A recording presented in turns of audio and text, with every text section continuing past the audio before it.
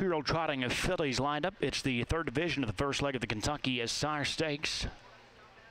Full field of 10 on gate for purse of $30,000. They're all set.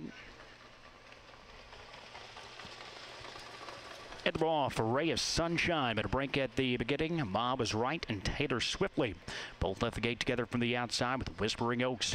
But we've gone through that at the inside for Gingras. They trot out of that opening turn. Park Lane Destiny has made an early uh, break in stride, but that's Ma was right.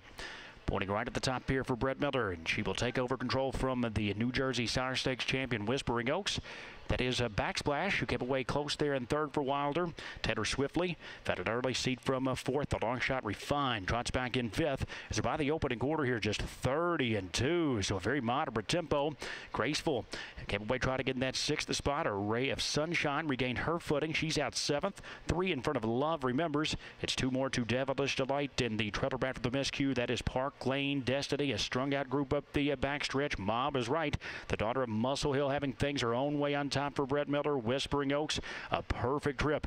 Just in behind as the two favorites continue a 1-2 as they try past the half in 58 seconds. The tempo did quicken there in that second split. 27 and 3 up the uh, backstretch. Ma was right.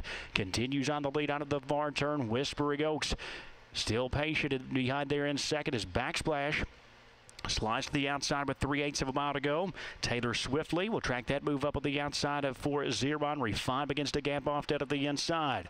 Moving past her is uh, Graceful, but she still has seven links to make up for a chance as the fillies approach the top of the stretch. Ma was right under heavy pressure down from a backsplash. Whispering Oaks looks for a place to race dead at the inside. Three wide. There goes Taylor Swiftly. They're off three quarters and 127 and one. Backsplash has made a break in stride. So clinging to a short lead. That's Ma was right. Shooting through at the inside Whispering Oaks, but down the center, Taylor Swiftly is unleashed late by Zeron, and it's Taylor Swiftly who's trotting best of all. Zeron in for a hat trick tonight. Taylor Swiftly will cruise on home to win it easily.